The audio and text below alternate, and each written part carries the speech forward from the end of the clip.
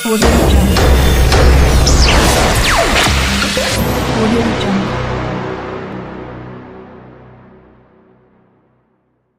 வணக்கம் நண்பர்களே தமிழ் டாப் செய்யார் யூடியூப் சேனல் மூலமாக உங்களை சந்திப்பதில் மகிழ்ச்சி அடைகிறேன் தொடர்ந்து வீடியோ பாருங்க லைக் பண்ணுங்க ஷேர் பண்ணுங்க சப்ஸ்கிரைப் பண்ணுங்க இன்றைய வேத வசனத்தை தியானிக்க போகிறோம் வாங்க தியானிக்க போகலாம் குறிப்பிட்ட நாட்டில் இருந்த படை வீரன் தன்னுடைய மேலதிகாரி கிட்ட போய் ரெண்டு நாள் லீவு கொடுங்க சார் அப்படின்னு கேட்கிறான் அதற்கு அந்த மேலதிகாரி சொல்றாரு நீதான் போர்ல அப்படி எதுவும் பெருசா சாதிச்சதா தெரியலையே.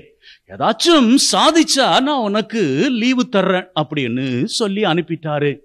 என்ன பண்ணலாம்? யோசிச்சவன் மறுநாள் என்ன பண்ணுகிறான்? போரின் முனைக்கே போகிறான். அங்கே போனவன் திரும்பி வருகிற பொழுது பெரிய பேட்டில் டேங்க் முழுவதுமாக ஆயுதத்தோடு வந்து சேருகிறான். அதை பார்த்தது மேலதிகாரி அப்படி அதிர்ந்து போய் விடுகிறார். உனக்கு என்ன ரெண்டு நாள் லீவு? ரெண்டு வாரம் லீவு நீ எடுத்துக்கோ அப்படின்னு சொன்னது ரொம்ப சந்தோஷத்துல வீட்டுக்கு போனான். தன்னுடைய மனைவி பிள்ளைகளோடு சந்தோஷமா இருந்த அந்த நேரத்துல மனைவி கேட்கிறா ஆமாங்க உங்களால எப்படி ஒரு தனி போராளியாக போய் இந்த பேட்டில் டேங்க் அதை எடுத்துக்கிட்டு வர முடிஞ்சது? அதுக்கு சிரிச்சுக்கிட்டே அந்த போராளி போர் வீரன் சொன்னானாம் போ எனக்கு ஊருக்கு வரணும். அப்போ நான் என்ன பண்ணேன் எங்க நாட்டில் இருந்த அந்த பேட்டில் டேங்க் இருக்கு இல்லையா அதை எடுத்துக்கிட்டு அப்படியே போர் முனைக்கு போனேன். என்ன போல அங்க போர் முனையில அடுத்த எதிரி நாட்டு படை வீரன் போராளி ஒருத்தனும் அவனுடைய நாட்டின் பேட்டில் டேங் ஒன்றோடு காத்துக்கிட்டு இருந்தான். அங்க அவன்கிட்ட போய் பேசுற நேரத்துல அவன் சொன்னான் என்ன போலதான் அவனுக்கும் பிரச்சனை. அவனுடைய மேலதிகாரி அவன்கிட்ட சொல்லி இருக்கிறாரு உனக்கு லீவு வேணும் அப்படின்னு சொன்னா நீ போர்ல ஏதாவது சாதிக்கணும் அப்படின்னு ரெண்டு பேருமே எங்களுக்குள்ள ஒரு ஒப்பந்தம் பண்ணிக்கிட்டோம். உன் நாட்டு இந்த பேட்டில் டேங்க நான் எடுத்துட்டு போறேன். எங்க நாட்டு பேட்டில் டேங்க நீ கொண்டு போய்க்கோ அப்படின்னு. கதையின் தத்துவம் என்ன தெரியுமா? இந்த உலகத்துல இருக்கக்கூடிய பகையை அழிக்கக்கூடிய ஆயுதம் அப்படின்னு சொன்னா அதற்கு பெயர் சமாதானம். சமாதானம் ஒவ்வொருவருடைய வாழ்க்கையிலும் மூன்று கட்டங்கள்ல வெளிப்படும். ஒன்று மனதில. இப்போ நம்ம யாரும் காயப்படுத்துறாங்க கோபப்படுத்துறாங்க அப்படின்னு வச்சுக்கோங்களேன் அந்த நேரத்துல நம்முடைய சமாதானம் மனசுல இருக்குதே சமாதானம் அது உடஞ்சு போவதற்கான வாய்ப்பு இருக்கிறது. ரெண்டாவது கட்டமா எப்படி வெளிப்படும் தெரியுமா? செயல்ல. உடஞ்சு போன சமாதானம் செயல்ல. நம்முடைய ஆக்ஷன்ல நாம கோபம் காட்டுறது எரிச்சல் படுறது பொறாமப்படுறது அப்படியான கட்டங்களில் வெளிப்படும். இவற்றையெல்லாம் தாண்டி மூணாவது விஷயம் ஒன்று இருக்கு பாருங்க. அதான் இன்னைக்கு நாம திருப்பாடல் நாற்பது வழியாக பார்க்கிறோம். நாம என்ன படிக்கிறாங்க? ஆண்டவரே உம்முடைய திருவிழத்தை நிறைவேற்ற நான் வருகிறேன். ரொம்ப சந்தோஷமா வர்றேன். அப்படின்னா என்ன? ஆண்டவருடைய திருவிழத்தை நம்மால எப்படி நிறைவேற்ற முடியும்? சிம்பிளா ரெண்டே ரெண்டு விஷயம் பண்ணணும் அப்படின்னு இயேசு சொல்றாரு. முதலாவது காரியம். உன்னுடைய முழு உள்ளத்தோடும் முழு ஆன்மாவோடும் முழு பலத்தோடும் ஆண்டவராகிய கடவுளை நேசிச்சுக்கோ. ரெண்டாவது என்ன பண்ணணும்? அந்த நேசத்தை உன் கூட மாத்திரமே வச்சுக்காம எல்லாருக்கும் பகிர்ந்துக்கோ. அப்போ நம்முடைய வாழ்க்கையில நாம சமாதானமா இருந்தா மாத்திரமே இந்த காரியத்தை பண்ண முடியும். கடவுள்கிட்ட நேசம் அதே நேசத்தை மனுஷர்கிட்ட காட்டுறது. இந்த ரெண்டுத்தையும் நாங்க பண்ணணும் அப்படின்னு சொன்னா நமக்கு எப்பேற்பட்ட சூழ்நிலை வந்து சேர்ந்தாலும் மனசுல நாம உடஞ்சு போகாம இருக்கணும். அப்படி உடஞ்சு போகாம இருந்துட்டு வச்சுக்கோங்களேன் அது நம்முடைய செயல்ல வெளிப்படும். எப்படி செயல்ல வெளிப்படும்? கடவுளுக்கு நேசத்தை கொடுப்போம் மற்றவர்களுக்கு பாசத்தை கொடுப்போம். இவற்றை நாம பண்ற பொழுது எல்லாவற்றையும் பார்த்துக்கிட்டு இருக்கிற கடவுள் தன்னுடைய ஆசிரை கிருபையை அருளை நம் மீது பொழிந்துகிட்டே இருப்பார். அவர் பொழிந்து கொண்டுதான் இருக்கிறார் என்னால் எப்பொழுதும். ஆனா என்ன? அவற்றை நாம் பெற்றுக்கொள்ளாதபடிக்கு நம்முடைய உள்ளத்துல நாம வச்சிருக்கிறோமே இந்த சமாதானத்துக்கு புறம்பான காரியங்கள் அவை தடுத்து கொண்டிருக்கிறது.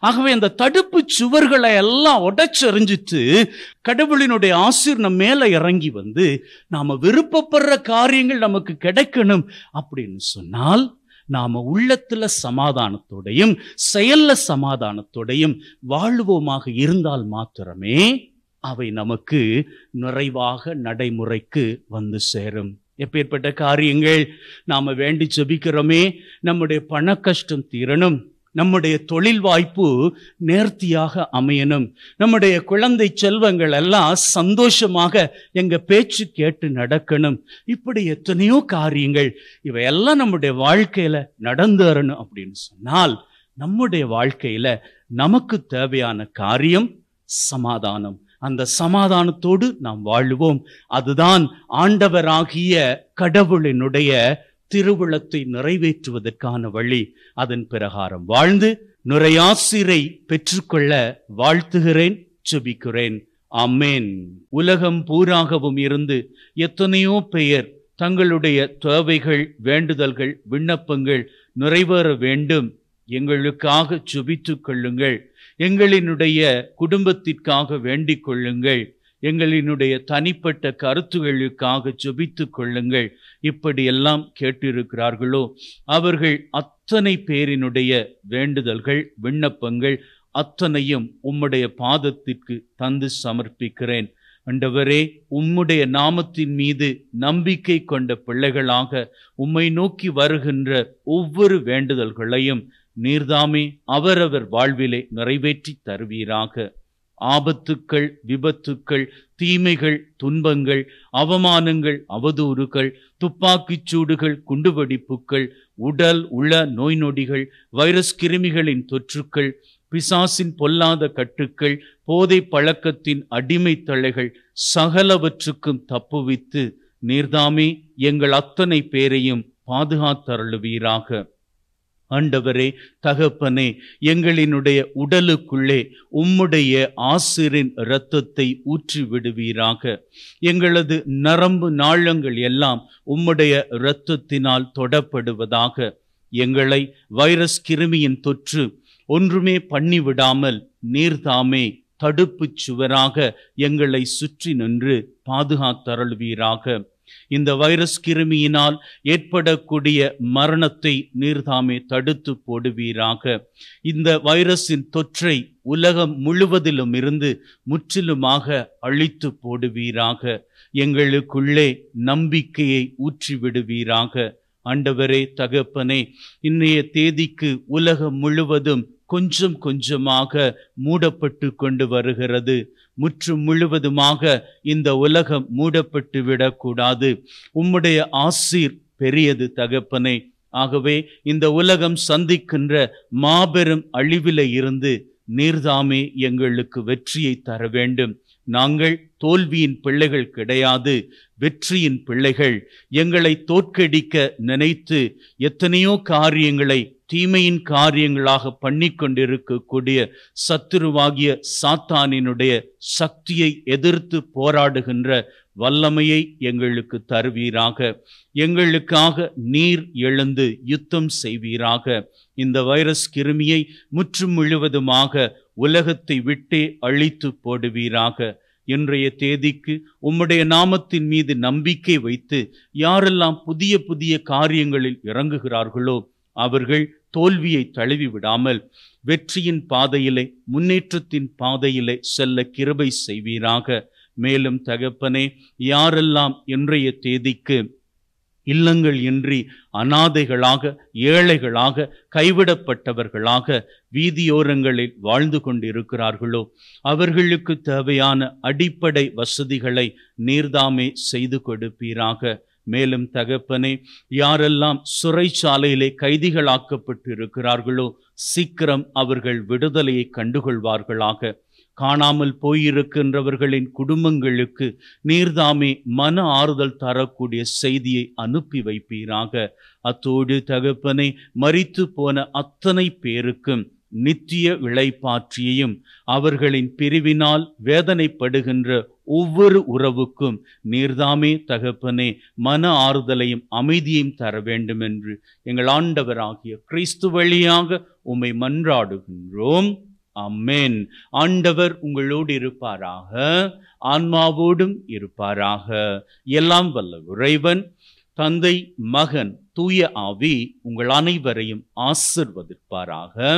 அம்மேன் சென்று வாழுங்கள் திருபாலி நுரைவேறிற்று. உழைவனுக்கு நன்றி. அன்பின் சகோதர சகோதரிகளே பிள்ளைகளே இன்றைய நாள் பூராக ஆண்டவரினுடைய கிருபையோடும் ஆசிரோடும் நிறைந்த மகிழ்வோடும் நீங்க வாழ்ந்து கொள்ளுங்க. எதை பற்றியும் கவலைப்படாதீர்கள். எல்லாவற்றையும் ஆண்டவர் பார்த்து கொள்ளுவார். தைரியமான உள்ளத்தோடு இன்றைய நாளை எடுத்து செல்லுங்கள். ஆசிரின் கிருபையோடு நிறைந்த மகிழ்வோடு வாழ்ந்து கொள்வீர்கள். May God bless you take care one and all அன்பார்ந்த வாடிக்கையாளர்களே அனைவருக்கும் மனமார்ந்த நன்றி.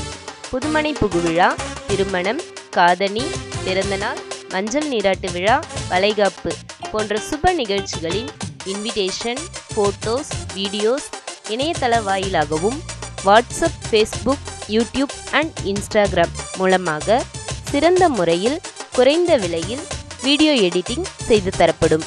தொடர்புக்கு A D digital studio full HD videos and stills number 11 by 6 Army Road Bypass Junction Cheyyar 604-407 Thiruvannamalai District Cell 99527-88752 9344362102 Email ID 80studio dot cheyyar at gmail.com